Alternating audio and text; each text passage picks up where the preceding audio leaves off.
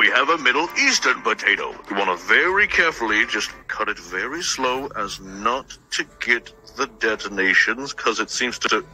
Oh shit! Oh, oh, appetizers! Oh,